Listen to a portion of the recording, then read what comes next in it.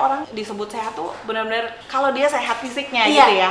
Bahwa kadang-kadang yang menghalangi kita dari kita melakukan hal yang bagus itu adalah pikiran kita sendiri Betul. gitu ya. Semua orang berhak untuk mengalami sehat mental. Mungkin yang bisa kita lakukan adalah menolong diri kita untuk hidup di masa yang saat ini dan sekarang. Kalau kita punya energi habis memikirkan masa lalu atau habis memikirkan masa depan, itu sudah yang bikin kita punya energi tidak cukup untuk kita menyelesaikan perkara-perkara hidup di, di sini saat ini gitu ya. Kemudian yang berikut adalah berani untuk menjadi diri sendiri. Apa pun bagusnya nggak bagusnya gitu, jadilah diri sendiri dan hiduplah saat ini sekarang.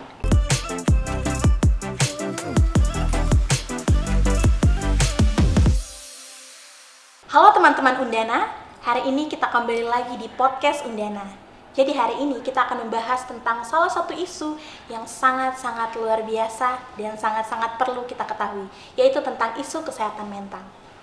Mensana in corpore sano, atau di dalam tubuh yang sehat terdapat jiwa yang kuat. Pastinya kita sering mendengar tentang slogan tersebut ya kan? Namun, terkadang kita belum memahami secara benar makna di balik slogan tersebut. Di dalam dunia kedokteran, kesehatan bukan melulu soal fisik, melainkan juga berkaitan dengan jiwa. Untuk saat ini, kita sering sekali mengabaikan tentang kesehatan mental karena kita sudah terpapar oleh stigma-stigma atau isu-isu yang berkaitan dengan kesehatan mental. Seperti kamu kurang beriman kayaknya, atau seperti kayaknya kamu disantet deh. Tentu kita sering mendengar hal tersebut. Jadi, hari ini kita akan membahas secara mendalam terkait hal tersebut. Teman-teman sangat menantikan tentu saja ya kan? Hari ini akan ditemani saya, Melvin Pakoy, sebagai host yang akan memandu podcast Undana hari ini. Dan hari ini telah hadir Ibu dosen dari program studi psikologi Fakultas Kesehatan Masyarakat Undana yang juga merupakan seorang psikolog klinis. Halo, selamat pagi Ibu. Selamat pagi Meta. Oke teman-teman Undana, hari ini sudah hadir Ibu Dian Anak Kakak, SPSI, MPSI Psikolog. Jadi hari ini kita akan banyak sekali mendengar uh, sharing materi dan juga pengalaman-pengalaman luar biasa Ibu berkaitan dengan kesehatan mental. Siap.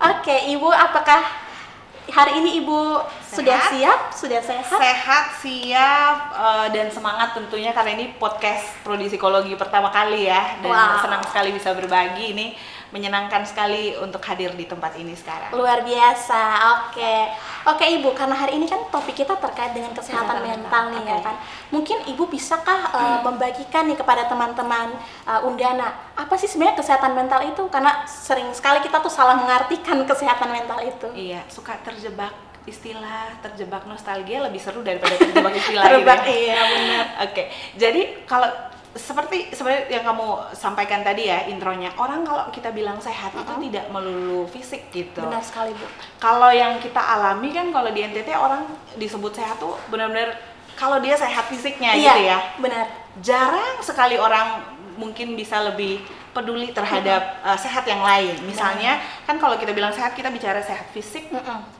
Sehat mental, Sehat mental sehat spiritual, Spiritual. sehat sosial. Sosial benar Jadi sekali. bukan cuma dua ini saja juga gitu, bukan cuma fisik dan mental, Mental. tapi juga sehat secara spiritual, sehat secara sosial.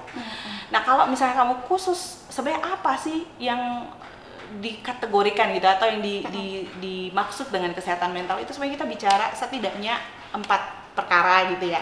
Perkara pertama adalah berkaitan dengan kemampuan. Orang sadar pada kemampuannya. Orang sadar dengan potensi-potensi yang dia miliki.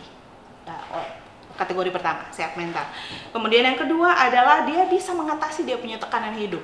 Jadi kan kita itu berpikir bahwa eh, harusnya tekanan itu bisa kita hindari gitu ya. Stra- Sumber-sumber stres bisa kita hindari dalam hidup gitu. Padahal di dalam kategori kesehatan mental bukan stresornya yang kita hilangkan gitu, tapi Oke, kemampuan, kemampuan. keterampilan orang Benar. itu untuk mengatasi tekanan yang dia miliki. Begitu stresor datang dia sanggup tidak mengatasi itu gitu ya. Mengatasinya. Dia sanggup tidak me- menyelesaikan gitu. Terus kemudian itu me- mengatasi tekanan. Kemudian yang ketiga itu sebenarnya bicara tentang apakah seseorang itu bisa belajar atau bekerja secara produktif. Produktif Jadi dia bisa sehat secara fisik kan, bisa sehat secara fisik, tapi dia bisa tidak produktif Benar. dalam hal belajar, dalam hal bekerja Bekerja. gitu. Banyak yang ditunda, banyak yang di apa ya, banyak yang tidak dikerjakan tepat waktu, banyak yang terbengkalai misalnya. Terbengkalai, benar. Kemudian yang keempat ini adalah kategori eh, kesehatan mental berkaitan dengan kontribusi terhadap komunitas. Oke. Jadi orang bisa saja cerdas super power gitu ya, tapi dia tidak punya kontribusi di komunitasnya ya tetap dia tidak masuk di dalam kategori ini gitu. Jadi yang disebut sebagai sehat mental tadi setidaknya Empat memenuhi empat kategori itu. Oke, baik. Nah, jadi teman-teman Undana, tadi Ibu Dian sudah menjelaskan bahwa kesehatan mental itu ada berkaitan dengan bagaimana kita menyadari kemampuan atau potensi kita, lalu juga bagaimana kita bisa menghadapi uh, masalah atau tantangan yang kita hadapi. Lalu yang ketiga itu berkaitan dengan bagaimana sih kita bisa produktif, apakah kita produktif tidak dalam kehidupan kita. Uh, dan yang terakhir itu berkaitan dengan bagaimana kontribusi kita terhadap sosial. Betul. Oke. Nah, kalau misalnya kita tidak masuk di empat eh, di, di definisi yang ini ya, tidak masuk dalam kategori itu, sebenarnya kita akan kemudian masuk di dalam dua kelompok, dua kelompok eh, manusia gitu ya. Satu adalah kelompok yang punya masalah dengan gangguan jiwa, Oke. satu lagi adalah kelompok orang dengan gangguan jiwa. Jadi Oke.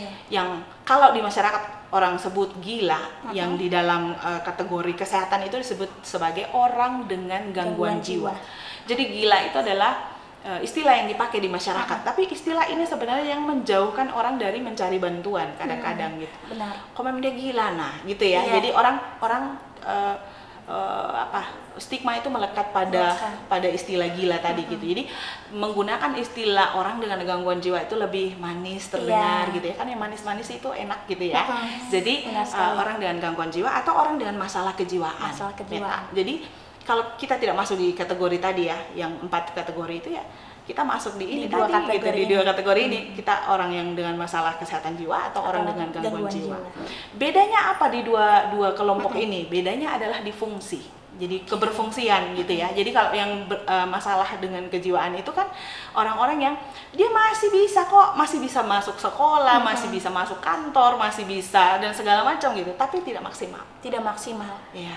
Jadi ini dia dia tidak tidak mengalami gangguan kejiwaan, tapi Kejiwaan. dia rentan untuk masuk ke kelompok Oke, yang yang- gangguan kejiwaan gitu. Nah, kalau teman-teman yang gangguan kejiwaan ini sudah jelas eh, keberfungsiannya terganggu dalam empat perkara tadi. Mungkin sulit menemukan dia bagusnya di apa, Mm-mm. gitu ya. Selalu Benar, PR ya kalau kita di prodi psikologi itu eh, berharap teman-teman itu kita push untuk bisa me- ayo kenal apa sih bagusnya kamu gitu Mm-mm. ya. Terus Potensimu. Mm, orang kemudian dengan gangguan eh, eh, jiwa itu bisa saja mengalami juga kesulitan untuk mengelola pengalaman emosi yang dia Oke. alami. Tidak bisa lagi produktif. Orang bisa masuk saja kantor tapi tidak bekerja dengan Iya. maksimal gitu. Terus kemudian dia nggak bisa berkontribusi banyak menarik diri dan seterusnya yang lain. Oke. Jadi kurang lebih seperti itu tadi bahwa uh, Ibu Dian juga sudah menjelaskan bahwa ada beberapa kategori nih ya kan terkait dengan uh, kesehatan mental atau kesehatan jiwa seperti itu. Nah, yang seperti tadi Ibu jelaskan, kira-kira akhirnya uh, bagaimana sih kita bisa mengenali uh, bahwa atau uh, menyadari bahwa apakah kita ini sudah masuk ke dalam tipe-tipe tersebut, uh, apa kita mengalami gangguan mental atau kita ternyata lagi di fase rentannya. Itu bagaimana sih akhirnya kita bisa menyadari posisi kita itu, Bu? paling gampang sebenarnya kalau kita kalau kita masyarakat awam gitu ya kalau anak-anak psikologi atau orang-orang yang sudah terpapar isu kesehatan mental tuh mungkin akan mudah untuk memahami dia eh, memahami masalah apa yang dia alami gitu. Apalagi orang yang sudah sering membaca tentang isu-isu kesehatan, Kesehatan mental. mental. tapi bagi kita yang mungkin jarang membaca gitu paling mudah sebenarnya kita bisa assess kita bisa ukur kita punya diri itu dari perasaan yang kita alami ketika berjumpa dengan peristiwa-peristiwa kehidupan. Apa pun bentuknya. Misalnya di rumah kenapa ya? Hanya ada rambut ja ini bersih sekali rambut jatuh satu saja saya bisa ngamuk sedemikian rupa. Hmm. Atau eh, misalnya apa ber- ketemu dengan seseorang itu saya bisa begitu sangat au- aura saya atau energi saya itu menjadi sangat buruk sangat down misalnya. Saya sangat cemas sekali ketika berbicara di depan umum. Jadi paling gampang itu sebenarnya kita ukur kita punya perasaan. Karena itu paling mudah dirasakan dan paling kita itu paling gampang mengenali diri kita itu dari perasaan kita. Nah, paling cepat di situ gitu. Jadi ukur saja kita punya perasaan gitu. Misalnya dari 0 sampai 10 10 bahagia sekali senang sekali. Misalnya saya ketemu meta gitu 0 sampai 10 10 saya bahagia sekali 0 saya pasti marah gitu atau eh, jengkel atau tidak suka ketemu meta gitu. Nah, itu sebenarnya biasanya kita bisa assess diri kita ada apa ya?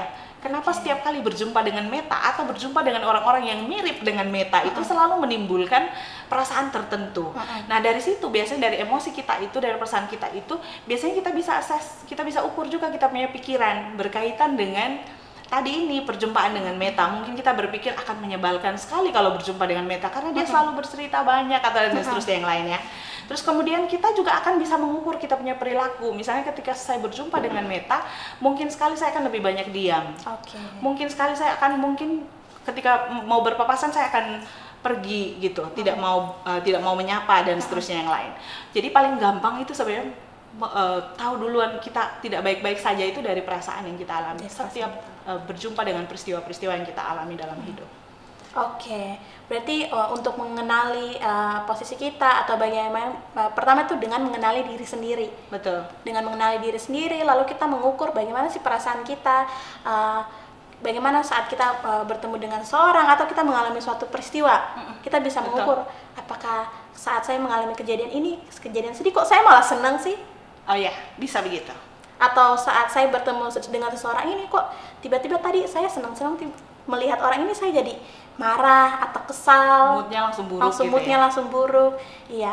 Oh iya bu lalu bagaimana dengan ada nih? Kayak misalnya ada beberapa kasus atau beberapa orang yang dia tuh masih denial masih menolak perasaan tersebut. Kayak eh, dia saat mengalami peristiwa ini tuh dia sebenarnya hancur atau sedih sekali. Eh, tapi dia malah melakukan hal yang sebaliknya yang di mana seharusnya dia sedih tapi dia malah senang dengan eh, menutupi hal tersebut itu seperti apa tuh? Ya, denial itu kan defense apa ya mekanisme pertahanan ya. Oke. Jadi kadang-kadang di dalam proses psikologi denial itu bisa jadi salah satu proses pertumbuhan. Nah, di, kalau di dalam layanan eh, di dalam kita melakukan konseling atau psikoterapi, denial ini harus dia temukan. Dia harus sampai di pencerahan bahwa dia sedang mengalami denial. Kalau tidak ti- dia tidak mengalami pencerahan di situ dan dia tidak menerima ini proses denial, ya dia di- tidak akan ke mana-mana. Dia akan tetap ada di Ada. situ gitu. Oke. Jadi biasanya ya itu eh, orang denial tuh bisa jadi karena takut, bisa jadi takut dengan perubahan ya. Eh, takut dengan kenyataan dan Hmm, seterusnya yang lain. Jadi orang orang pakai mekanisme itu untuk kemudian menghindarkan dirinya dari kecemasan akan hal yang yang akan dia hadapi di masa akan datang. Hmm, Oke, berarti ini berkaitan dengan penerimaan diri ya Bu, ada fase-fasenya Iya, untuk iya. sampai di mana menerima Betul, betul. keadaan. Oke. Nah, gimana sih akhirnya kita bisa menemukan waktu yang tepat nih Bu? Saat tadi kita sudah menyadari bahwa oh saya ini sudah mengalami eh, suatu hal yang berbeda, saya menyadari ada perubahan perilaku pada diri saya. Akhirnya bagaimana kita bisa menemukan waktu yang tepat untuk kita bisa pergi ke psikolog atau kita me- mencari bantuan seperti itu Bu? Waktu yang tepat ya. Iya. Jadi eh, sebenarnya kadang-kadang ka- terutama buat teman-teman yang sudah sampai di kelompok gangguan itu kan sebenarnya dia secara eh, fungsi itu sudah agak rumit ya. Kadang-kadang orang merasa dia baik-baik saja padahal dia sudah merusak banyak gitu. Kadang-kadang orang merasa baik-baik saja padahal dia sudah bikin konflik di dalam rumah tangganya sedemikian rupa gitu ya. Benar, benar. Kalau kamu bertanya tentang waktu yang tepat itu itu menjadi sangat rumit untuk di dijawab gitu. Kapan ya waktu yang paling tepat gitu? Sama seperti pertanyaan ini sering datang, Meta. Kapankah saya bisa sembuh dari pengalaman ini gitu? Tidak pernah ada waktu yang paling pas untuk eh, sembuh dan se- selama begitu kamu be- begitu seseorang mengerti atau memahami bahwa dia tidak sedang baik-baik saja. Tadi itu ya, ketika kita mengakses diri kita dari empat kategori itu, kita merasa kita tidak baik-baik saja, itu sudah waktu yang yang paling pas. Jangan tunggu nanti. Karena kalau kita bicara polanya bertahan dan seterusnya yang lain sudah sudah beda urusan. Sudah beda urusan. Apalagi kalau sudah banyak yang kita rusak dari apa dari kondisi psikologis yang kita alami ya gitu. Karena orang dengan masalah atau gangguan mental itu menyedot banyak energi. Dia sendiri sedot energi, orang di sekitarnya itu juga habis Iya, energinya benar. untuk eh, apa ya berada di sekitar dia Hmm. gitu. Misalnya dia mudah marah-marah gitu ya, mudah marah-marah, mudah eh, sulit menyelesaikan dia punya eh, pengalaman eh, emosi gitu kan akan berdampak pada orang-orang di sekitar dia. Dan orang-orang di sekitar akan terdampak Mm. dari eh, apa yang dia alami gitu. Jadi kalau kita bicara waktu yang paling tepat kapan? Pada saat kamu yakin kamu tidak sedang baik-baik saja dan pada saat orang di sekitarmu terutama orang terdekatmu kamu rasa dia tidak sedang baik-baik saja gitu. Itu waktu sudah yang paling tepat untuk jangan tunda mah kalau masalah kesehatan mental mah jangan tunda gitu. Yang membuat orang tidak mencari pertolongan itu karena bisa jadi karena stigma Betul sekali. banyak kali apalagi kalau bicara jangan sampai psikiater deh ke psikolog aja orang sudah sudah bilang lu gila kok Iya, betul. bahkan itu dari keluarga-keluarga yang secara pendidikan itu bagus Mm-mm. ini ini saya melayani kan selama ini masih di kota selalu di kota Kupang ya, Kota Kupang. yang indoor gitu, yang benar-benar di dalam ruangan melayani secara individual itu kan di kota Kupang gitu. Jadi banyak kali orang datang itu masih dengan eh, sudah sudah begitu lama bergumul dengan masalah atau gangguan yang dia alami gitu. Kenapa kenapa dia lama untuk sampai datang ke psikolog itu lebih karena itu gitu. Masih bergumul dengan ketakutan eh, eh, apa namanya orang akan anggap dia gila gitu. Bahkan keluarga sendiri bilang, "Kok lu belum gila nih? Mm-mm. Lu pi ini kerja asa, lu pi lu pi gereja setiap minggu kenapa lu bisa gila begini benar. gitu. Jadi seterusnya. Tadi yang saya bilang bahwa eh, kadang-kadang orang menggunakan istilah gila itu sudah yang bikin dia takut dengan kegilaan stigma. gitu. Padahal setiap hari kita gila kan? Iya. Iya, kadang-kadang kita buat keputusan gila gitu. Jadi gila itu yang kadang-kadang menjauhkan orang dari eh, pertol mencari pertolongan gitu. pertolongan. Jadi itu satu. Kemudian yang kedua adalah ketakutan bahwa layanan psikologi itu bukan layanan yang rahasia gitu. Oke. Jadi jangan sampai ketemu ternyata nanti akan dibocorkan gitu ya Meta ya. Jadi padahal semua psikolog selama dia ada di bawah eh, naungan Himpunan Psikologi Indonesia, dia akan bekerja sesuai dengan kode etik psikologi. Dan untuk dapat itu surat izin praktek, orang sumpah dalam nama Tuhannya gitu. Jadi perjanjian dia adalah perjanjian pelayanannya dia adalah perjanjian dia dengan Tuhan, termasuk menjaga identitas klien gitu. Jadi nah itu yang belum sampai di masyarakat gitu. Ya, itu yang kadang-kadang membuat orang tidak datang untuk mencari pertolongan. Itu si meta gitu. Jadi eh ya ya mungkin itu yang bisa saya sampaikan. Oke, jadi teman-teman Undana, kapan waktu yang tepat? Itu saat kita mulai menyadari perubahan tersebut, perubahan perilaku, dan jangan ditunda. Karena kadang kadang kita tuh takut terhadap kayak yang tadi Ibu Dian sudah jelaskan terhadap stigma ataupun juga terhadap eh, Layanan. pelayanan psikolog yang eh, ada di Kota Kupang sendiri ya, Ibu. Jadi untuk pelayanan di Kota Kupang sendiri pun juga ternyata sudah ada beberapa. Nanti kita akan bahas di akhir ya, teman-teman. Dan juga untuk pelayanannya sendiri itu sudah dijamin kerahasiaannya karena sama seperti pekerjaan-pekerjaan dokter seperti itu mereka juga punya sumpah atau kode etik sendiri teman-teman. Jadi mulai sekarang eh, teman-teman sudah mulai nih perlahan untuk bisa menaruh kepercayaan terhadap layanan-layanan konseling, layanan-layanan psikolog yang ada di Kota Kupang. Oke, Ibu, tadi kita berbicara terkait dengan eh, banyak sekali nih masalah-masalah kesehatan mental, ada gangguan, ada eh, terkait dengan kerentanan-kerentanan. Kalau misalnya kan kadang eh, kita manusia nih suka berbicara sendiri gitu Oke. berbicara terhadap diri sendiri atau eh, berbicara di depan cermin atau Ya. kita suka buat skenario-skenario saat sendiri gitu acting atau apa nah apakah itu juga masuk ke dalam gangguan kejiwaan atau itu bentuk apa tuh Bu dalam kesehatan mental sendiri Baik. Kalau yang belajar acting tentu tidak ya. iya Jadi mungkin pertanyaan itu muncul karena ada gejala di dalam satu gangguan, eh, gangguan jiwa berat. Itu adalah orang bicara gitu ya, bicara terus-menerus, bicara dengan dirinya sendiri gitu. Tapi kemudian ada kelompok yang disuruhnya itu bicara dengan dirimu sendiri gitu. Kalau kamu cemas bicaralah dengan dirimu sendiri. Mungkin pertanyaan itu muncul karena ini gitu. Iya. Padahal dua ini beda sekali Oke. gitu. Kalau bicara yang di gangguan jiwa berat ini kan sebenarnya adalah bicara yang tidak kadang-kadang tidak runtut, tidak Mm-mm, jelas, tidak hanya dia dan rohnya yang tahu Iya. gitu kan. Jadi benar-benar tidak kadang-kadang tidak runtut, tidak logis dan seterusnya yang lain. Sementara yang disebut dengan bicara dengan diri sendiri ini kan sesuatu yang logis. Yang logis, kadang-kadang kita apa namanya eh, ketika kita berbicara dengan diri sendiri itu diharapkan bisa mengganti pola pikir yang terdistorsi, yang salah, Oke. yang tidak logis di pikiran kita. Misalnya yang eh, saya contohkan saja ini paling sering dialami mahasiswa ya, ini paling di, sering dialami mungkin teman undana yang mahasiswa adalah ketika berjumpa dengan seorang dosen, Dosen. ya kan? Ini sering sekali saya contohkan di dalam kelas. Ketemu dengan seorang dosen tuh biasanya pikiran yang muncul, eh, pikiran yang otomatis muncul di, eh, di, di kepala itu adalah mati subeta, Iya. gitu ya. bisa jadi karena belum kerja tugas, bisa dan seterusnya mati subeta gitu. Pada saat mati subeta muncul di kepalanya, tidak mungkin dia lari peluk dosen. Benar, Right? benar. Ya kan? Dia akan menghindari. Menghindari. Dia akan menghindari entah dengan pura-pura baca, entah dengan pura-pura ke toilet, Iya. entah dan seterusnya yang lain.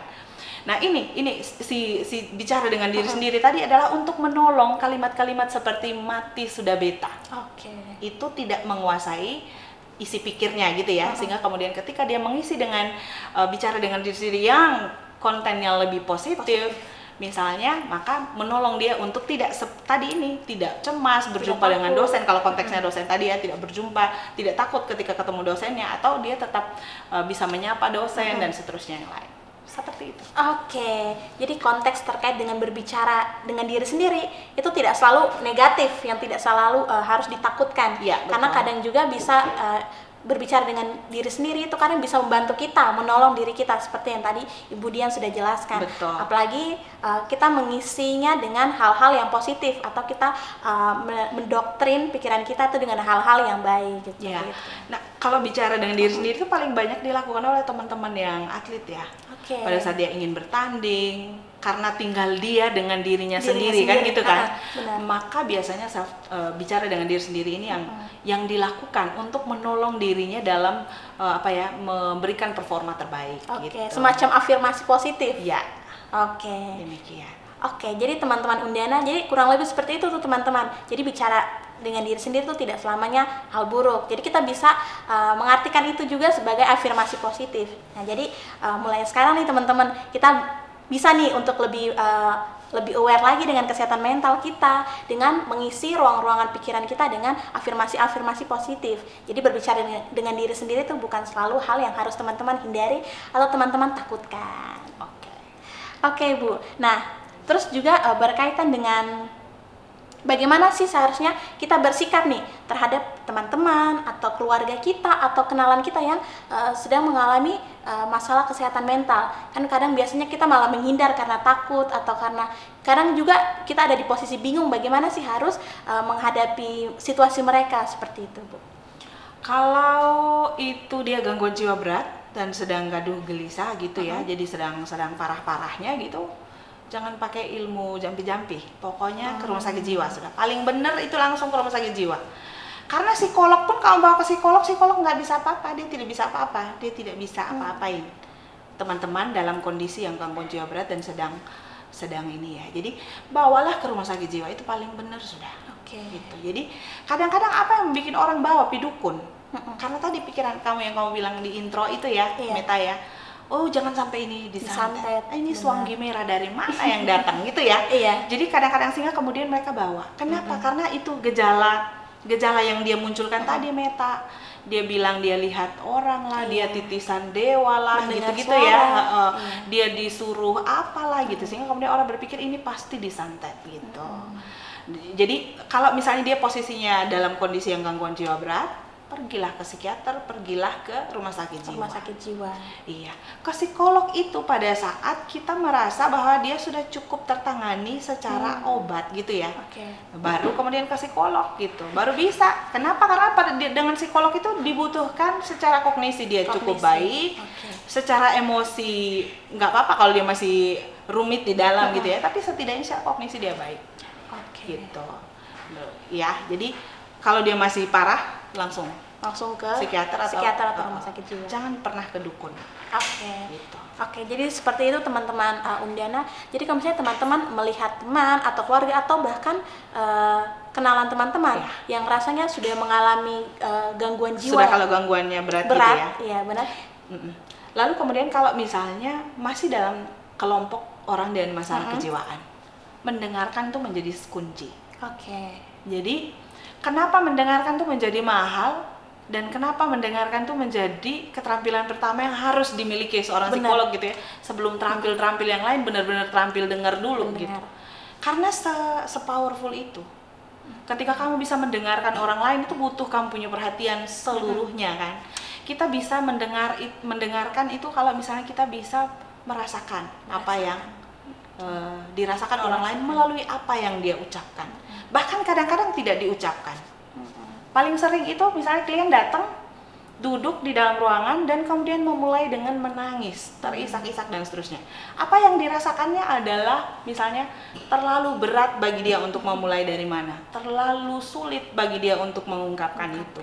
Misalnya, orang tidak bisa mendengarkan kalau dia sambil pegang handphone, kalau sambil TV menyala, kalau sambil anak-anak ada bermain dalam ruangan gitu. Kalau sambil kamu eh, apa namanya bercerita di kafe yang musiknya kencang gitu tidak bisa orang tidak bisa mendengarkan kalau ada pusat konsentrasi yang lain Hmm. kalau kita mau dengarkan ya seluruhnya konsentrasi itu hanya buat orang lain jadi mendengarkan itu adalah jalan untuk seseorang itu bisa pulih dari kondisinya Dari kondisi. Oh, Gitu. dan itu itu mahal gitu tidak jarang kita temukan ya orang yang benar-benar kasih tinggal semua hal dan mendengarkan, Mendengarkan. kamu. Itu itu sangat sulit kita temukan gitu. Karena itu makanya dia sangat mahal mahal benar sekali. Oke, jadi eh, selain misalnya hal-hal kecil yang bisa kita lakukan untuk orang eh, terdekat kita, untuk sahabat, teman, keluarga, itu adalah dengan mendengar, dengan memberikan diri kepada eh, teman-teman yang ternyata membutuhkan nih, kayak mereka pengen curhat atau mereka ingin mengekspresikan perasaan mereka. Jadi kita bisa memberikan diri dengan cara mendengar. Jadi itu mungkin hal yang terdengar simpel tapi juga eh, perlu usaha, perlu niat, ketulusan hati untuk bisa melakukan tersebut. Jadi untuk teman-teman Undana, mungkin kita bisa membangun nih empati kita untuk bisa lebih aware lagi dengan sekitar kita, untuk bisa memberikan diri kita, waktu kita, untuk bisa mendengarkan orang-orang yang kita sayangi, yang mungkin sedang membutuhkan pertolongan kita atau membutuhkan kehadiran kita saat itu. Berkaitan dengan eh, bagaimana akhirnya orang-orang atau penyintas kesehatan mental yang mereka sudah eh, istilahnya sudah sembuh dari masalah kesehatan mereka dan lalu apakah mereka juga bisa kembali lagi sakit lagi bu? Atau mereka bisa kembali rentan lagi terhadap hal tersebut? Nah kalau misalnya mereka bisa kembali lagi rentan itu kira-kira faktornya tuh apa saja sih bu? Banyak faktor ya. Kalau dia pengobatan bisa jadi karena tidak patuh pengobatan. Oke.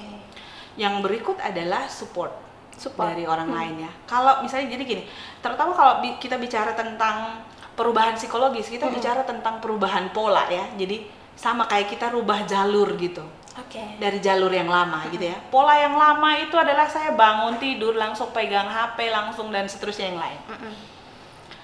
Kalau kita mau kalau kita mau tumbuh kan berarti salah satu yang kita lakukan adalah mengubah pola perilaku Mengubah pola dan mengubah itu kadang-kadang menakutkan. iya perubahan itu sendiri menakutkan gitu ya. Dilakukannya itu menjadi tantangan yang lain Tantangan. gitu. Jadi kambuh itu bisa jadi karena dirinya sendiri, bisa jadi karena support dari orang lain itu Support. tidak bagus atau tidak ada perubahan di settingnya, tidak ada perubahan di lingkungannya gitu. Jadi pola-pola yang pola-pola yang lama itu tetap bertahan, dia juga mempertahankan pola yang sama. Jadi tidak ada belajar keterampilan misalnya bagaimana sih mengelola pengalaman emosi dengan lebih baik gitu. Ingat toh, menghadapi tekanan itu menjadi salah satu kriteria sehat Iya, mental benar gitu. sekali. Jadi dia tetap pada pola yang sama, dia tidak terampil mengelola emosinya, dia tidak terampil mengelola stres yang dia alami gitu. Nah, apakah misalnya kita kita eh, salahkan keluarganya? Mari kita salahkan saja keluarganya, Keluarga. misalnya gitu ya. Eh, Kadang-kadang orang kan begitu, toh itu gara-gara depung dan seterusnya yang lain. Kalau kita orang dewasa, sumber stresor itu sebenarnya tidak bukan sesuatu yang bisa kita hilangkan. Pekerjaan tidak bisa kita hilangkan, bos apalagi gitu ya, tidak bisa kita hilangkan kecuali mau mau masuk penjara gitu kan bisa dihilangkan. Tapi kan kita hidup dalam dalam kenormalan gitu ya. Kalau orang normal tuh ya semua sumber stres yang dialami itu dia tidak bisa hilangkan karena itu adalah stimulus dia adalah sesuatu yang ada di luar diri maka dia tidak bisa lakukan apa-apa dia tidak bisa kendalikan Tidak bisa kendalikan. atau boleh kita bilang kita hanya bisa pengaruhi apa yang ada di kita punya sekitar Hmm. tapi kita tidak bisa benar-benar tidak bisa kendalikan paling gampang mungkin kalau di anak-anak di teman undangan yang mahasiswa itu misalnya suka stres karena pacarnya tidak ikuti gaya rambut yang dia Iya. inginkan gitu ya lu nih beta susur lu potong rambut begini nih sebenarnya keputusan potong rambut itu adalah Iya. keputusan pacarnya Iya, gitu personal tapi itu bisa membuat itu sangat menyebalkan misalnya kita tidak baju couple-couplean gitu ya Oke. baju pasangan kenapa lu sama pakai itu dan seterusnya yang lain jadi keputusan hidup orang lain itu benar-benar sesuatu yang kita levelnya itu hanya bisa pengaruhi, Pengaruh. tidak bisa kendalikan. Iya. Yang bikin orang masuk kepada masalah psikologis atau masalah mental ini karena ini mau kontrol orang lain punya hidup, mau kontrol ini dunia gitu. Mm-mm. Padahal satu-satunya yang bisa dia kontrol adalah dirinya sendiri itu bukan teori yang baru, itu teori yang umum. Kenapa sudah te- teori itu sudah begitu umum tapi masih banyak orang jatuh kepada masalah dan gangguan? Karena tidak dijalankan. Karena kita masih suka nego. Tapi kan gitu ya. tapi kan iya Tapi kan beta seandainya gitu. Ya. Tapi kan beta gitu. Tapi itu sudah yang bikin apa pun yang kita rencanakan begitu ada kata tapinya nggak jalan kan? oke Gitu. Oke. Begitu Kameta. Oke, terima kasih banyak Ibu Dian.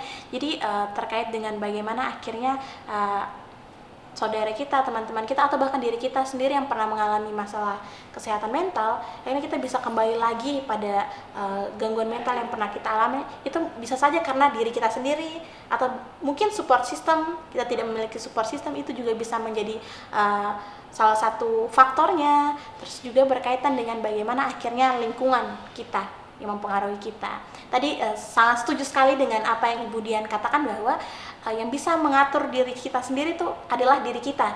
Dan kita tuh uh, jangan terjebak terhadap ekspektasi atau keinginan kita untuk tadi merubah dunia, mengatur dunia. Karena sesungguhnya dunia ini berjalan itu banyak orang, banyak orang yang memikirkan bagaimana akhirnya uh, hal ini bisa terjadi. Dan seperti yang tadi Ibu Dian bilang bahwa kita tidak bisa mengambil keputusan atau kita tidak bisa mengatur orang lain untuk berjalan seperti ini karena tentu kita tahu bahwa kita terlahir dengan pengalaman kita masing-masing, dengan kognisi kita masing-masing, ya akhirnya hal-hal tersebutlah yang melahirkan perilaku-perilaku kita. Benar. Sebenarnya ekspektasi itu boleh sih. Mm -mm. Misalnya kita menginginkan dunia ini menjadi lebih baik. Baik, benar. Kita menginginkan undana lebih baik, gitu Betul. gitu kan ya. Tapi part kamu apa? Itu mm -hmm. yang menjadi fokus utama. Okay. Wow, saya, saya membayangkan undana itu -hmm. menjadi berdampaknya dari sisi psikologis itu dalam hal ini, hal ini, hal ini gitu nggak apa-apa itu ekspektasi, ekspektasi itu mimpi yang seperti yang saya bilang tadi semua yang manis itu menyenangkan hmm. gitu kan jadi nggak apa-apa kita expect tapi part kamu bagian okay. kamu itu yang kamu harus fokuskan untuk kerjakan karena begitu kamu fokus pada apa yang orang lain harus kerjakan saat itulah energi kamu habis untuk mengerjakan kamu punya bagian hmm, okay. itu sih makanya kita jatuhnya pada masalah. Hmm. Syukur-syukur hanya di batas masalah gitu ya. Hmm. Kalau sudah levelnya masuk di gangguan, nah itu yang rumit. Iya betul. Jalan sekali. panjang Jalan untuk bisa sembuh. Hmm. Oke betul banget nih yang tadi Ibu Dian katakan bahwa uh, apa ya ekspektasi kita tuh juga perlu kita barengi dengan usaha kita perlu dengan kita berikan kontribusi kita juga teman-teman jadi tidak salah juga nih kalau misalnya kita berekspektasi tapi jangan menaruh ekspektasi itu untuk uh, dicapai atau diselesaikan oleh orang lain. Melainkan harus diri kita sendiri yang bisa mencapai ekspektasi kita. Dan kalau misalnya tidak sesuai dengan ekspektasi pun tidak masalah gitu. Karena mungkin saja kita bisa melihat nih kayak kata orang-orang kayak mungkin di balik hal ini ada hikmahnya betul. atau mungkin di balik hal ini ada pembelajarannya. Betul betul. Jadi kita harus selalu uh, menanamkan hal-hal positif mengafirmasi hal-hal baik untuk diri kita. Benar ada catatan penting dari kamu Meta mm -hmm. tadi bahwa kamu bilang nggak apa-apa kok kalau misalnya tidak berhasil gitu ya iya. gagal itu adalah sebuah kenormalan mm -mm mahasiswa-mahasiswa gitu kan takut kita ya iya. teman-teman dan ini kayak mahasiswa nih banyak yang takut gagal betul sekali kalau misalnya gagal di ini, gagal di percintaan, gagal di ini, gagal dan di seterusnya. Karena rohnya maunya menang terus gitu ya. Karena rohnya uh, apa ya mau mengalahkan si A, si B uh-huh. gitu. Mau jadi yang terbaik dan seterusnya. Uh-huh. Padahal untuk menjadi yang terbaik itu kan butuh proses panjang. Proses, Bisa jadi dia nggak ber, tidak berhasil di sekarang, nanti dia berhasil dan uh-huh. seterusnya untuk dia menuju menjadi seseorang yang tumbuh sempurna gitu ya secara psikologis, secara eh, secara mental gitu. Jadi kegagalan kalau tidak pernah dianggap sebagai kenormalan itu sudah sebenarnya menjebak uh-huh. kita untuk Benar. mencoba lagi. Gitu. Mencoba lagi. Orang orang takut mencoba itu karena takut gagal takut gagal iya. bukan takut berhasil mm-hmm, ya benar. kan orang tidak mencoba itu karena takut gagal mm-hmm. gitu padahal gagal itu adalah sebuah konsekuensi logis yeah. logis sekali kalau kita mencoba sesuatu dan gagal, gagal iya. tapi banyak orang masih pakai kata tapi tadi tapi kan tapi kan mm-hmm. gitu benar benar nah itu jadi uh, selama kita masih ada di dalam kungkungan ketakutan pada kegagalan, selama kita ada pada kungkungan takut salah, kalau di dalam kelas kan paling sering begitu, iya. kita takut salah, Mm-mm. omong karena kita takut kita takut salah, omong tuh karena bisa karena logat, iya, ya kan? paling banyak terjebak itu karena logat kalau kita punya Mm-mm. mahasiswa ya logat saya aneh bu. Mm-mm. bicara saya itu tidak sistematis bu. Iya. maka di ruang-ruang kelas yang saya lakukan apa mungkin meta mengalami ya? Boleh salah kok. Boleh. boleh tidak sistematis kok bicara di ruangan ini gitu ya. Boleh salah kamu boleh mengatakan yang salah. Katakan saja apa pun itu gitu. Tapi jangan salah setelah keluar dari pintu. Artinya yuk nanti kita omong lalu kemudian kita bereskan keluar dari pintu kamu sudah menjadi orang yang sudah benar pola pikirnya berkaitan dengan konsep yang kita sedang bicarakan. Jadi membolehkan orang salah itu menjadi sebuah hal yang mahal kalau Mm-mm. sekarang gitu. benar sekali Supaya apa? Supaya supaya orang tidak terkungkung, orang tidak berpikir bahwa berbuat melakukan kesalahan dalam proses belajar itu sesuatu yang horor gitu. iya benar Kan horor sekali kalau salah gitu. Hmm. Biarkan aja kamu salah. Salah itu adalah proses yang harus kamu lewati mungkin untuk kamu tahu mana benernya gitu. betul Itu sih.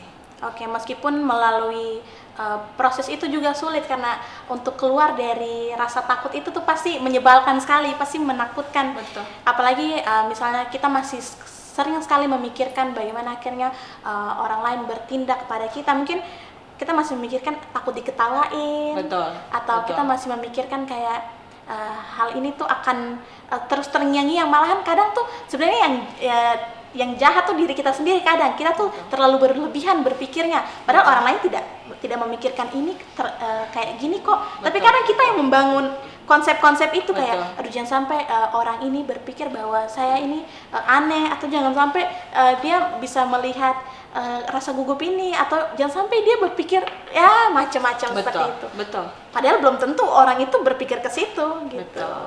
Benar, meta meta poinnya bagus sekali ya, bahwa kadang-kadang yang menghalangi kita dari dari kita melakukan hal yang bagus itu adalah pikiran kita sendiri Betul. gitu ya atau menghalangi kita untuk mencoba hal yang baru itu adalah sebenarnya diri kita sendiri gitu Nah, mungkin karena gini, kadang-kadang kita da- di dalam eh, berinteraksi itu kan kita takut pada eh, apa yang orang lain, apa respon orang lain terhadap kita benar. gitu ya.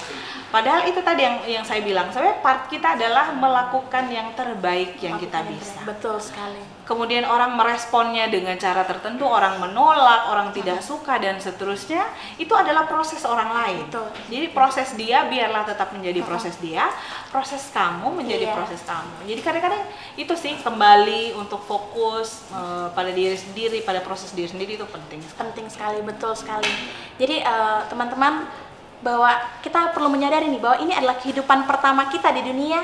Jadi wajar sekali jika kita tuh belum mengenal banyak hal, belum mengetahui banyak hal dan jika kita gagal dalam perjalanan kita, itu wajar karena kita baru pertama kali ini ada di dunia ini, baru pertama kali mencoba proses-proses ini. Jadi eh, seperti yang Ibu Dian bilang bahwa fokus kepada diri kita tuh menjadi hal yang perlu nih kita upayakan dengan sungguh-sungguh dan dibarengi juga dengan bagaimana kita membangun ekspektasi kita yang positif dengan bagaimana kita berusaha untuk mencapai ekspektasi-ekspektasi kita.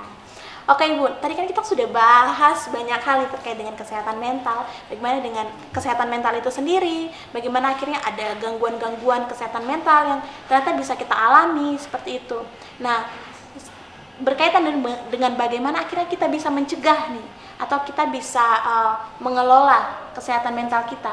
Apakah mungkin kita dengan cara bermeditasi kah? Atau dengan hal-hal seperti apa nih ibu yang mungkin bisa kita lakukan di kehidupan kita sehari-hari? Ya. Berkaitan dengan itu, jadi strategi menolong diri sendiri itu akan berlaku sangat personal. Kenapa begitu? Ini saya contohkan saja. Ada orang yang bisa merasakan kenyamanan dan ketenangan itu ketika dia ke gunung gitu ya atau ke padang dan seterusnya. Ada orang yang memang cukup dengan di dalam kamar gitu ya, mendengarkan musik rohani dan dia bisa tenang, bisa pulih kembali. Ada orang yang memang harus meditasi, yang tadi ya harus meditasi, harus eh, apa lagi mungkin eh, strategi yang lain, eh, journaling, misalnya Journaling, gitu ya. ya, dan seterusnya yang lain. Strategi kita tuh sangat personal, sangat melekat pada diri kita sendiri. Entah kenapa gitu ya.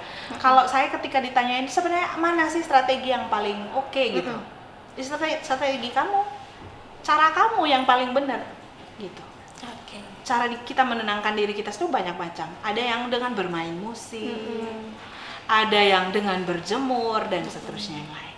Jadi selama cara itu menolong kamu untuk pulih, lakukanlah gitu. Tidak perlu sama seperti si dia yang di YouTube, si dia yang di di TikTok itu Iya. nggak perlu kita. Kita perlu kembali ke diri kita menemukan cara yang paling manis, yang paling menenangkan kita itu cara apa. Misalnya kalau sekarang cara yang paling menenangkan itu adalah dengan bercerita, Bercerita. misalnya gitu ya, Hmm. dengan menyampaikan ide dan seterusnya dengan orang lain, bicara dengan orang lain, lakukanlah itu. Mm-mm. Jadi fokus pada keterampilan yang bisa kamu lakukan. Oke, oke teman-teman Undana. Jadi eh, berkaitan dengan bagaimana kita menolong diri sendiri itu dimulai dari kita mengenal, menggali apa sih hal yang bisa membuat kita nyaman. Dimulai dengan bagaimana sih akhirnya kita bisa eh, menemukan potensi-potensi atau hal-hal menyenangkan yang bisa membuat mood kita bagus atau yang bisa membuat pikiran kita menjadi rileks. Hal-hal tersebut tuh bisa kita temukan dari dalam diri sendiri. Betul. Seperti itu teman-teman. Dan eh, seperti yang tadi Ibu Dian bilang bahwa kita jangan sampai eh, berusaha meniru apa yang sudah orang lain perbuat, yang akhirnya ternyata hal tersebut malah membuat kita semakin tidak nyaman atau malah membuat kita makin merasa risih dengan hal itu. Jadi poinnya adalah temukan dalam diri teman-teman hal yang paling menyenangkan yang ada dalam diri teman-teman. Tadi eh, yang apa yang sudah Ibu katakan berkaitan dengan bagaimana akhirnya kita menemukan eh, cara terbaik dalam diri kita. Oke Ibu, mungkin eh, Meta ada pertanyaan lagi nih Bu berkaitan dengan isu kekerasan seksual nih yang terjadi bahwa eh, kadang kan juga isu kesehatan mental nih bukan hanya datang dari dalam diri kita dari kayak overthinking atau dari eh, hal-hal yang ada dalam diri kita. Bisa juga kesehatan mental itu terjadi karena mungkin perilaku orang lain atau eh, pengalaman-pengalaman traumatis yang kita rasakan. Salah satunya mungkin berkaitan dengan kekerasan seksual. Nah untuk eh, terkait dengan hal itu mungkin itu itu bagaimana sih bu? Apakah eh, kesehatan mental yang berkaitan dengan kekerasan seksual itu eh, Apakah mungkin gitu Iya, ya? apakah mungkin atau lalu juga sih bagaimana sih dengan terkait dengan penanganannya sendiri karena ini kan pengalaman yang tentu pasti traumatis sekali ya kan bagi korbannya. Iya, jadi memang kalau berbicara tentang kekerasan seksual, selama pengalaman saya bekerja sebagai psikolog itu lebih banyak uh, pada anak-anak anak-anak dengan uh, korban kekerasan seksual ya, anak sebagai anak korban, sebagai anak pelaku gitu. Jadi kalau kita bicara tentang korban kekera- uh, korban kekerasan seksual, memang salah satu yang paling mungkin itu adalah mengalami trauma tadi itu ya. Yang barusan saya tangani itu adalah anak-anak korban kekerasan seksual yang dilakukan oleh guru. Jadi em, apakah itu mungkin apakah mungkin nggak sih mereka masuk ke dalam masalah atau gangguan itu sangat mungkin gitu. Apalagi kalau masih sangat anak-anak. Kan pengalaman eh, anak-anak eh, pengalaman tidak menyenangkan yang dialami di masa kecil itu kan berkontribusi Betul. terhadap bagaimana dia melihat dirinya bagaimana dia melihat tubuhnya gitu ya. Jadi paling sering memang pada anak perempuan tapi tidak menutup kemungkinan itu pada anak laki-laki gitu ya. Kalau anak laki-laki saya dapatnya di remaja ya. Setelah di remaja satu lagi pada saat dia sudah dewasa gitu. Tapi sudah itu sudah berlalu pada saat dia masih kecil. Eh, dia datang ke saya itu setelah dia remaja setelah dia satu lagi setelah dewasa dan kemudian merasa bahwa tidak sedang baik-baik saja tadi itu gitu. Jadi sangat mungkin. Kalau pertanyaan pertanyaan kamu apakah mungkin? Sangat mungkin gitu. Nah kalau bicara tentang korban kekerasan seksual ini ada beberapa ruang resiko mungkin ya, ruang kerentanan yang saya lihat gitu. Yang pertama itu adalah pada anak-anak yang takut, takut pada orang dewasa, takut pada pengasuh, tidak merasa aman pada pengasuh. Pengasuh yang suka garatak, yang suka pukul, yang kalau kita omong jujur dan tidak jujur itu tetap dipukul. Oke. Pernah kan melihat yang seperti itu ya? Yang kedua adalah anak-anak yang menumpang. Hmm, Orang tua pi kerja titip anak. anak. Uh, itu me- menumpang tuh artinya anak-anak yang benar ditinggal dalam waktu lama gitu ya. Yang ini yang satu ini yang orang tuanya masih di kota Kupang sih, tapi datang dan kemudian jemput lagi dan seterusnya. Yang berikut ini adalah yang orang tuanya migran. Benar-benar bapak kasih tinggal rumah gitu. Ini banyak banyak terjadi pada anak-anak uh, korban kekerasan seksual dengan orang tua migran dan banyak saya tangani ini gitu. Yang berikut adalah anak-anak yang tinggalnya rame-rame dengan sepupu-sepupu di dalam rumah gitu ya. Jadi sering sekali nih dapat yang ini gitu. Yang berikut adalah di dalam yang kal- kalau keluarga sendiri itu adalah yang konsumen pornografi. Ah, ya. Jadi bapak kandung, saudara kandung itu sudah sering sekali ditangani gitu. Gitu. Jadi ada ruang-ruang yang yang bikin uh, apa ya kerentanan uh, kekerasan seksual itu bertahan di kita punya setting sosial gitu. Jadi satu lagi adalah rumah yang dempet-dempetan Hmm, yang hampir tidak padat, terpisah padat. antara satu Iya. rumah dengan jadi orang di sebelah bisa masuk di rumah sebelah dengan segampang itu dan mudah sekali untuk tahu apakah di rumah ada orang dewasa dan seterusnya yang lain perkara-perkara seperti ini jadi kalau pada anak kecil seperti itu Hmm, tidak pernah kalau kita bilang kan dia pakai anak kecil pakai celana umpan nah Mhm. gitu dan seterusnya banyak orang menyalahkan korban gitu benar sekali. apakah itu benar kita lakukan gitu Mhm. menyalahkan korban Menyalahkan gitu ya korban, benar. itu menjadi satu pertanyaan pergumulan gitu ketika berjumpa dengan anak-anak yang mengalami kekerasan seksual dan terisak-isak di depanmu mungkin pertanyaan itu Mm-mm. kemudian harus direvisi Oke. Oke Ya. Bu, masih berkaitan dengan kese- eh, kekerasan seksual nih Bu. Kan tentu saja untuk penanganannya itu pasti berbeda ya kan Bu? Iya, panjang Karena- biasanya Iya kan. benar. Apalagi kalau misalnya kayak untuk korban kekerasan seksual tuh kan ka- terkadang mereka lebih tertutup karena itu stigmanya tuh jadi double gitu Bu karena eh, takut disalahkan ya kan? Iya, iya. itu bagaimana sih akhirnya kita yang mungkin sebagai keluarganya atau teman terdekatnya bisa menyadari bahwa kan kalau misalnya eh, isu kesehatan mental yang kayak dia eh, depresi atau apa kita bisa melihat kayak ada perubahan-perubahan perilaku tapi terkadang ada, korban kekerasan seksual yang dia seperti biasa datang kampus tapi ternyata dia tuh punya luka itu bagaimana sih akhirnya kita bisa memancing dia kayak atau eh, bukan bermaksud kepo tapi bagaimana akhirnya dia bisa be- bebas begitu dengan perasaannya ketakutannya seperti itu. Satu kita bisa akses ketulusan ya. Orang dan masalah itu biasanya sangat sensitif. Oh bisa tahu ini orang kepo saja atau dan seterusnya yang lain. Jadi kadang-kadang kalau kita orang-orang itu mengunderestimate ketulusannya gitu ya. Kalau kamu tulus, kamu cukup bilang kalau kamu mau cerita, saya, saya merasa kamu tidak baik-baik saja. Kalau kamu butuh teman cerita, saya ada di sini. Gitu. Ketulusan tuh punya power gitu. Kalau benar-benar kamu rindu untuk menolong, kamu rindu untuk ada di eh, sebagai support system, dia pasti akan menerima, dia akan merasakan itu, gitu. Dan konsisten. Kadang kan ada yang beta su, su coba nah dia son mau nah gitu dan Hmm. seterusnya ya. Kamu kan konsisten tunjukkan bahwa kamu memang tulus untuk mendampingi, tulus untuk eh, menolong gitu. Ya, Oke. itu tidak masalah gitu. Mm-mm. Memang untuk korban kekerasan seksual itu salah satu yang menambah kesulitan itu adalah ketika dia dapat bully. Hmm. Ini anak-anak korban kekerasan seksual itu yang bully itu teman sekolah. Misalnya pelakunya adalah Dian gitu ya. Mm-mm. Terus eh, apa namanya korbannya adalah eh, anak kakak gitu. Iya. Nah si anak kakak itu dipanggilnya Dian. Dian, Dian gitu. Bulinya itu begitu kalau di kalau selama ini ya anak-anak korban yang saya eh, dampingi gitu. Dipanggil dengan nama pelaku gitu. Hmm. Itu sesuatu yang tidak menyenangkan sama Iya. sekali gitu dan itu kita butuh untuk bersurat ke sekolah menyampaikan bahwa mereka tuh harus bantu untuk kemudian anak-anak tidak melakukan eh, bullying gitu ya Hmm. kepada eh, anak korban ini gitu.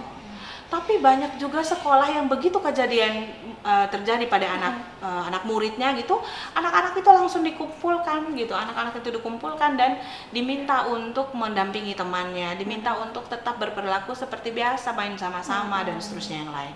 Dan itu berhasil gitu, ada yang Oke. berhasil. Eh, orang tua juga di lingkungan sekitar langsung kemudian RT eh, apa namanya biasanya ber- kita bersurat ya hasil pemeriksaan seperti ini eh, berharap untuk bisa didampingi juga komunitas eh, support gitu. Jadi biasanya langsung dikasih tahu untuk anak-anak anak-anak ini tidak diperlakukan Berbeda. memberikan dia kenormalan Iya. yang baru gitu. Betul. Diperlakukan seperti yang kemarin aja gitu. Ya seperti menyapanya seperti apa ya itu sudah yang dilakukan gitu. Jangan berikan kenormalan baru gitu supaya dia merasa pulihnya bisa lebih gampang. Oke, betul sekali sih Bu. Be- Berkaitan dengan bagaimana akhirnya kita bisa uh, punya ketulusan nih untuk bisa membantu teman-teman kita yang mungkin uh, kita rasa atau mungkin kita tahu cerita tersebut bahwa mungkin dia adalah penyintas atau korban kekerasan seksual. Ya. Terus juga berkaitan dengan support. Ini juga berkaitan dengan hal yang tadi. Bagaimana ketulusan kita itu juga merupakan bagian dari support kita bentuk uh, kepedulian kita terhadap teman-teman korban kekerasan seksual. Nah, tadi kan kita bahas terkait dengan kekerasan seksual, Bu. Di Undana sendiri juga kita sudah punya satuan tugas penangan pencegahan dan penanganan kekerasan seksual. Jadi Betul. untuk teman-teman nih eh, mahasiswa Undana yang mungkin sedang mengalami atau pernah mengalami atau teman-teman eh, sebagai saksi yang pernah melihat kejadian kekerasan seksual, teman-teman eh, jangan takut dan jangan menormalkan kekerasan seksual yang terjadi yang entah itu dilakukan oleh dosen, mahasiswa ataupun staf-staf yang ada di Undana bahwa setiap kekerasan yang terjadi itu perlu untuk ditindak secara tegas agar pelaku tidak bisa melakukan hal itu lagi kepada orang lain seperti itu teman-teman. Jadi teman-teman eh, untuk terkait dengan eh, Satgas PPKS sendiri teman-teman bisa mungkin melihat ya di Instagram Satuan eh, Tugas Pencegahan dan Penanganan Kekerasan Seksual. Oke, Bu. Oke, mungkin karena tadi kita sudah bahas terkait dengan kesehatan mental bahkan sampai eh, bagaimana terkait dengan kekerasan seksual juga tadi kita sedikit menyinggung ke sana.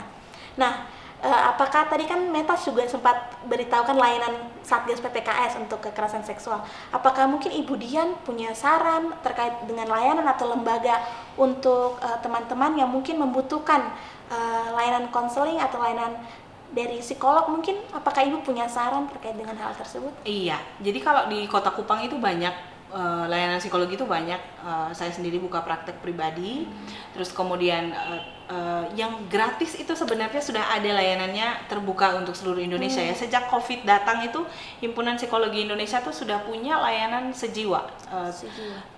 Tinggal teman undana tuh tinggal tekan 119 gitu nanti akan diarahkan oleh operator di sana untuk kemudian ke menekan angka 8 dan kemudian berjumpa dengan eh, psikolog atau kemudian ahli psikologi yang akan melayani saat itu gitu dan layanannya 30 menit cukup untuk kita bisa menyampaikan kegundahan atau kegalauan saat itu gitu ya dan menemukan cara bagaimana ya untuk menolong diri kita sendiri. itu. Itu itu kalau secara nasional ada 119 kemudian nanti akan diarahkan ke extension 8. Yang kalau di Kota Kupang eh, di NTT eh, melayani NTT juga ya PKBI NTT. Itu layanan gratis untuk kelompok marginal semua teman-teman misalnya contoh yang korban kekerasan seksual kebetulan kita sedang bicara itu sebenarnya gratis untuk pertemuan berapapun gitu. Oke. Jadi tapi untuk klien umum gratis di pertemuan pertama, pertemuan berikutnya biasanya sudah Berbayar. berbayar Hmm. gitu. Jadi nah itu kita berharap ini sekarang prodi psikologi Iya. sedang diinisiasi untuk punya eh, bukan prodi psikologi sih, tapi Undana gitu ya. Iya. Undana akan punya layanan psikologi diharapkan Mm-mm. itu bisa sesegera mungkin terrealisasi ini layanan psikologinya gitu supaya kemudian teman-teman Undana kalau misalnya butuh untuk melakukan konsultasi, melakukan Betul. konseling itu sudah bisa langsung di Undana sendiri sudah Mm-mm. ada gitu. Kita punya sumber dayanya gitu. Kita psikolog di di apa namanya di Kota Kupang ini paling banyak mengajar di Undana gitu. Oke. Jadi sebenarnya kita sudah punya sumber daya, Sumber sumber, dayanya. sudah sudah ada gitu. Tinggal uh, kita punya uh, fasilitas dan itu sedang dikerjakan. Kita berharap secepat mungkin Amin. itu terrealisasi ya. Amin. Oke, terima kasih banyak nih Bu Dian tadi sudah uh, membantu teman-teman mungkin yang membutuhkan layanan tersebut uh, untuk mungkin menolong diri mereka sendiri yaitu di 119 ya Bu. Ya, Itu 119. layanan dari HIMSI yang berlaku untuk nasional. Lalu untuk di Kota Kupang dan juga di Nusa Tenggara Timur ada PKBI Nusa Tenggara Timur.